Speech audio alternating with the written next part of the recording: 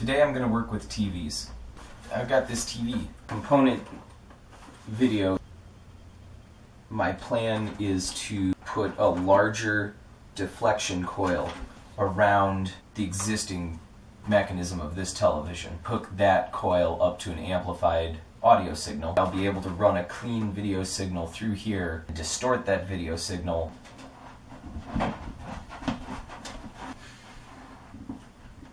This TV is really big. This deflection coil, unlike that deflection coil, which is just basically hot glued on, but it's attached with some sort of epoxy resin or glue of some sort. We're gonna give this a try. Charging car batteries. Push some current.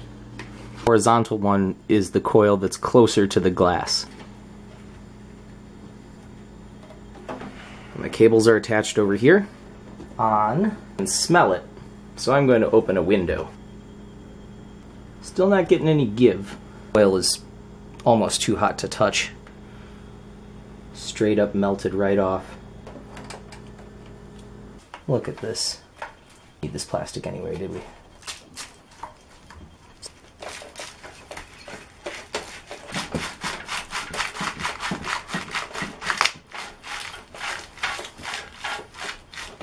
Oh, hey! Some of this plastic melted off, but other than that, fits right around the outside of it.